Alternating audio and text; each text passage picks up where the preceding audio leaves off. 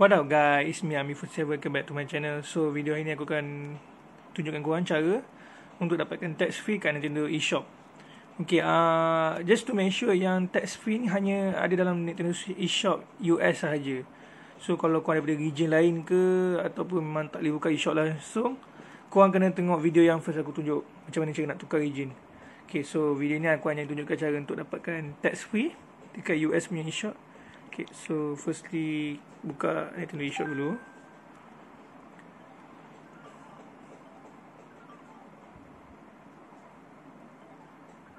Okay.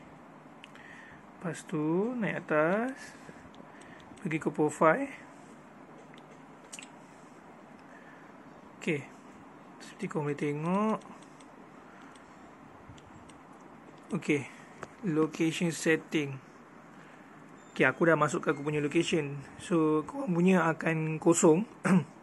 Ataupun mungkin kau ada masukkan postcode yang lain tapi yang ada text punya. So, yang aku nak bagi ni yang tak ada text punya. Okay. So, berbaloi lah. Kita nak beli game kan. Tak payah bayar cukai.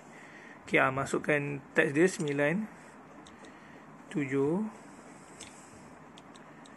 kosong 8 kosong.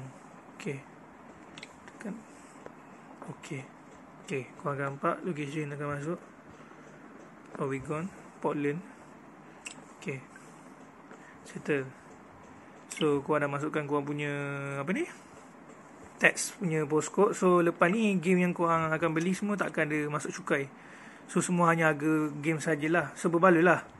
Sekarang sekarang tengah Black Friday ni. So, uh, kena buat lah semua ni kan. Aku tak rugi bayar mahal lebih game. So guys, uh, that's for the video.